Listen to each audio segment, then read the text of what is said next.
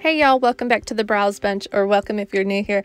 I'm Courtney, and it is Friday, so that means it's time for another What's for Dinner video. I post these every single week here on my channel, so if you enjoy What's for Dinner videos or grocery hauls or other things like that, then make sure you're subscribed if you're not already. I would love to have you be a part of my YouTube family, but we will be sharing four of the meals that our family had this week, and I hope you guys enjoyed the video. If you do, make sure to give it a thumbs up and let me know in the comments down below which one would be your favorite.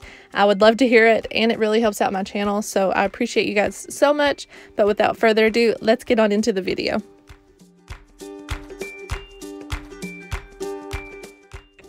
For this first meal that we're going to be making this week, I made a French onion burger casserole, or at least that's what we're going to call it. It's a little bit of a play off of the burgers that we had last week in our What's for Dinner video.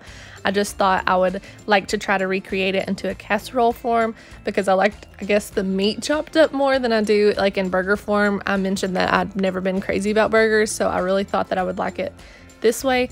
And so for this recipe, you will need an onion Lipton soup mix packet, um, some garlic powder, Worcestershire sauce, I'm sure I'm not saying that right, but whatever. Um, some salt and pepper I used, and then you'll need two um, cans of crescent dough rolls, or you can use the crescent dough sheets. Those work a lot better, but our store didn't have any, so I'm just going to use the crescent rolls and just pinch the little pieces together so that they're there's not any like holes and then I also chopped up a whole onion and we'll just use some butter and a little bit of sugar to caramelize those. And then I'll also use some provolone cheese slices and then of course one pound of ground beef. The first thing I did was just unroll one pack of the crescent dough rolls. I actually left the other pack in the fridge so that it wouldn't get soft while I was doing this one. I just unrolled it and went ahead and put it in the bottom of the pan, pinched all of the little pieces together so there's no holes, and I actually stuck that in the oven for about five minutes while I was cooking up the meat and the onions just to get that a little bit solid before putting in the meat, but that's optional. You can just do it all together if you want. For the temp of the oven, I just actually used the temp that the package of the crescent dough rolls said, and when I go to cook it, that's how long I will cook it as well. But for the meat, I'm just mixing together the onion soup mix with the Worcestershire sauce and salt and pepper and garlic powder.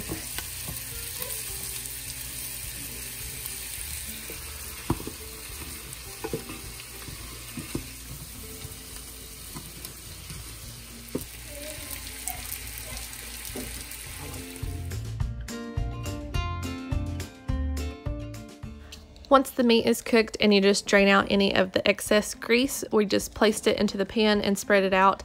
And then on top of that, we add in the caramelized onions and spread those out as well. One thing that I would have added, and we did when we were actually eating them, is sweet pickles. I had all intentions of adding them when we were cooking this, but we just forgot. We were really distracted. And then also we used provolone slices but if I make this again, which I probably will because we loved it, um, I'll probably use provolone cheese just shredded because this made it like pretty stringy and thick for the cheese, but I think the um, shredded would have been perfect. Lastly, you just want to unroll that dough sheet and spread it on top and pinch together the pieces, or if you're using a dough sheet, just spread it on top and then stick it in the oven for however long your package says.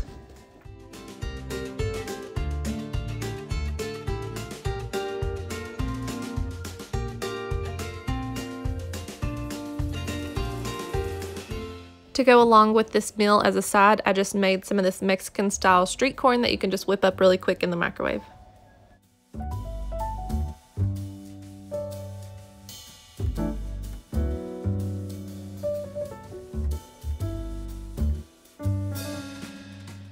This corn I thought was pretty decent, but my husband doesn't like cilantro, so he was not a fan. And then Grant also spit it out, so I guess he doesn't like cilantro either.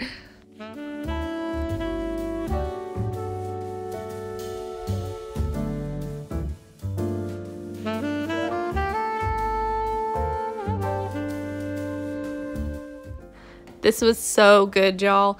Um, I'm so glad that we tried to recreate those burgers because it really paid off. And again, I would definitely add some pickles. We used the bread and butter pickles, but it just made it so yummy. On this night, we were supposed to originally be having a pork loin, but Walmart was out of it and they didn't get it in my Walmart grocery pickup order. So we're just having breakfast for supper, which is always a win in our house. I'm just going to be using this Bisquick um, pancake mix that already, ha already has chocolate chips in it and this blueberry syrup is so good. I highly recommend it. It's probably a little more thin than you would get at like IHOP, but it was still really tasty. And then we're also going to be having some bacon. We've been cooking this in the oven, which we absolutely love doing. Um, it is just so much cleaner and you don't get popped with grease. You just stick it in there and don't have to worry about it. Cook it for like 25 minutes and it's done.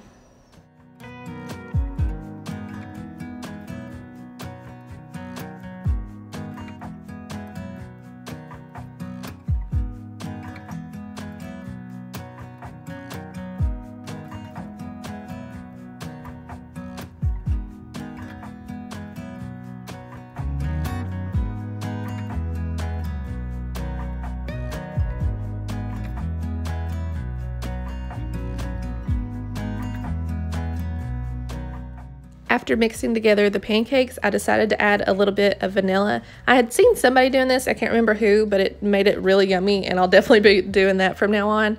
And then here in just a second, you'll see the bacon. It does have a ton of grease on it when it comes out of the oven, but we just dabbed it with some paper towels, and I totally think it's still worth doing in the oven.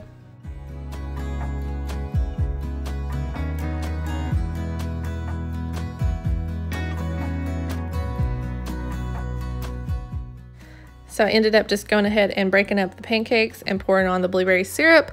We just served it with some bacon and strawberries on the side. I would love to hear what y'all's favorite breakfast for supper meal is. We love breakfast around here. Tonight for supper, I'm gonna be making some spaghetti squash Alfredo. Um, so first I'm just gonna preheat the oven to 400 and have that going. But one of you guys mentioned to make it easier to actually cut the spaghetti squash in half to poke some holes in it or slice it with a knife and put it in the microwave for a few minutes and then it'll be easier to cut. So I'm gonna try that out and I'll let you guys know how that goes. And then after this is almost um, done cooking in the oven, we'll work on our Alfredo sauce.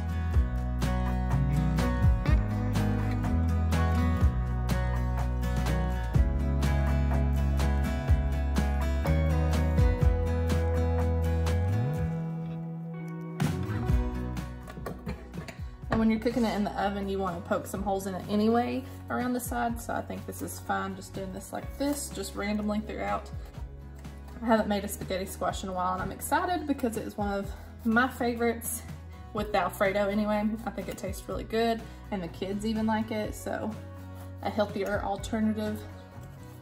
They're pretty picky, so any way that I can get like that kind of healthiness in there, sneaking in there, is a win for me. So if you have any like of your favorite ways of sneaking veggies into foods for your kids, let me know in the comments down below because I could really use some tips. I'm just gonna stick it in there for a few minutes. Okay, so this is what it looks like after four minutes in the microwave. The only spot that looks soft is right here that was on the bottom. The other side didn't look soft. So I'm gonna try to cut it on this side and see. And if it's still really hard to cut, I might just put it in there for a couple more minutes.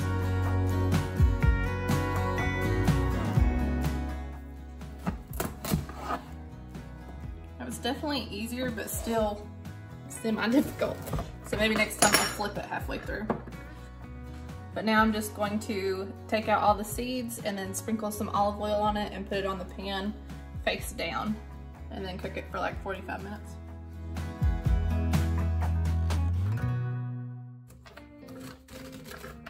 I feel like I'm coring a pumpkin. I need one of those little tools that you get at Halloween.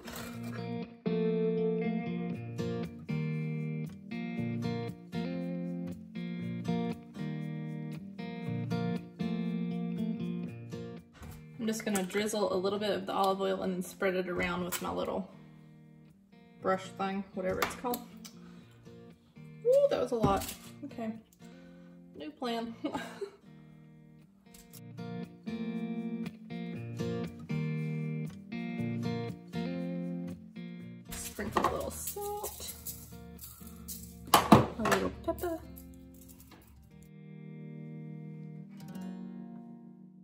I'm just gonna start out cooking it for 45 minutes and then if it needs a little bit longer, we'll just cook it a little longer.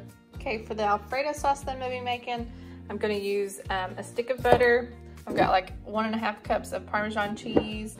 I'm gonna use like that much of the cream cheese that I've got cut off there, a cup of heavy whipping cream. I've got two cloves of garlic here that I just chopped up really quick. And then I'm gonna put a little bit of mozzarella at the end on top. Also forgot to mention that I'm gonna use some salt and pepper, but first I'm just gonna let this um, butter melt down before adding in all the other ingredients. Okay, now I'm gonna add in my heavy cream, one cup of that, my garlic,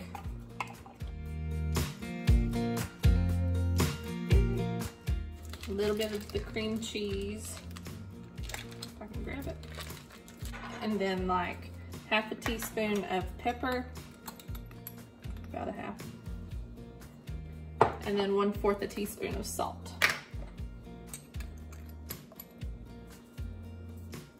And just bring that to a simmer. And once it's um, been simmering for a couple minutes, I'll take it off and then add in the Parmesan cheese.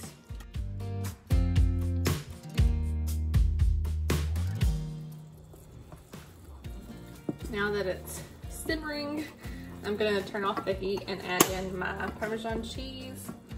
And then just like, I'm gonna use a whisk actually instead. And then just use whisk that around until it gets to the consistency you want and when the Parmesan cheese is all melted.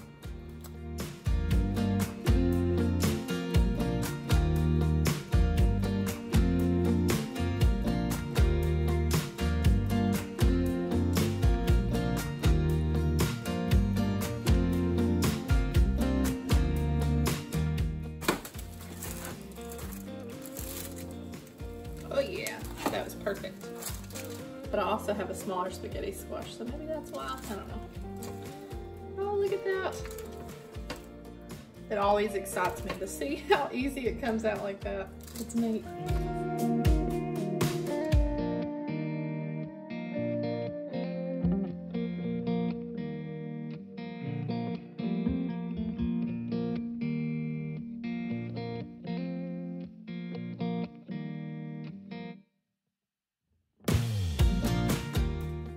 Just sprinkling it with a little bit of, par uh, not Parmesan, mozzarella cheese on top. But here it is. And I've already tasted the Alfredo sauce and it is probably the best batch of Alfredo sauce that I've made yet. It is so good. And we're just having it with a slice of garlic toast that I made in the toaster oven. But I'm excited to eat. This is one of my favorite meals. This is proof that Porter likes it. is that good? This is definitely a favorite a family favorite meal. We all enjoy it, don't we, Grant? Yum. What did you say? This one I will walk them Uh-huh. so make them next time. You want me to make it next time? Yeah. It's good, huh? Y'all, this is quite bizarre. Both of them are pretty picky and we have, like, they always at least try it usually, but they never usually eat it all. So this is pretty impressive. I'm sure it's just the sauce and not the spaghetti squash noodles, but I'll take it. Tonight I'm gonna be making some barbecue bacon pineapple chicken. That's a lot to say in one mouthful. You'll just need some chicken breast, how many ever you'll need for your family. I'm just using two, they're pretty large, so I'm gonna cut them in half to make four. And because the kids don't usually eat much of it and we'll have some sides with it too. And then one cup of mozzarella cheese, red onion. We don't use the whole thing, but about a fourth of it probably. And I already had half of one still left in the fridge. Some green onions to top it with. That's optional, but we like green onions, so I'm gonna use those. Some pineapple. Um, I'm just using the pineapple slices and I'm gonna cut them into little bits. Our store only had the chunks or this, so that's what I'm gonna use. Um, some barbecue sauce to top the chicken with, and then this is the kind of bacon I'm gonna use. You can use actual bacon and cook it, but this is much easier and quicker, so I'm just gonna um, cook some of that in the microwave really quick. So first I'm just going to cut my chicken in half and then chop up my onion while cooking the bacon in the microwave.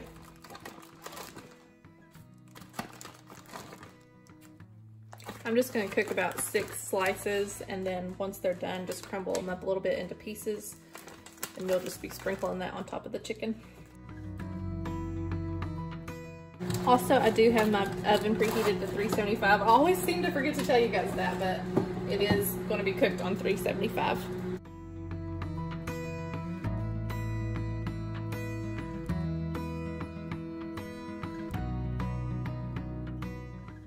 I'm actually going to cut some of these into little strips. That's just kind of how we like it.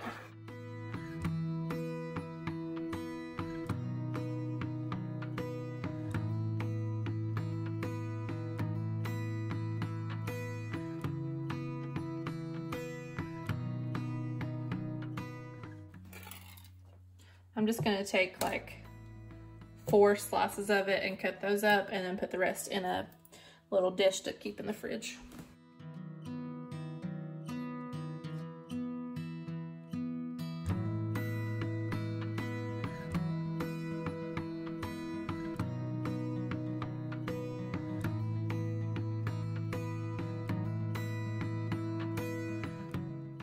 Now I'm just gonna put my chicken into the pan, a 9 by 13 one, and then layer on a good amount of barbecue sauce, and then the pineapple, red onions, and then cheese on top.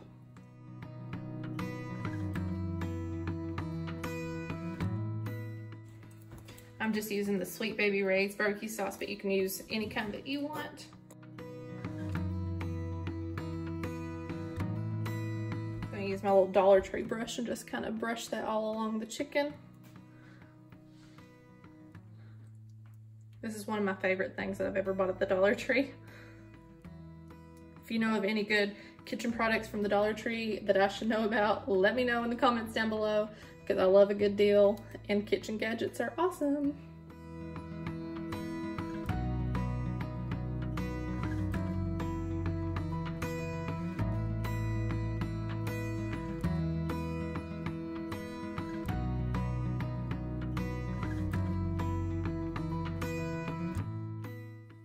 Just gonna cook it in the oven for like 25 to 30 minutes and then see how it is. And the last like four-ish minutes, you want to broil it. But first I'm gonna take it out and check to make sure the temperature's okay because I've been having trouble lately with the timing on some of these recipes not being enough time for our oven. So you always wanna make sure that the temp of the chicken is done.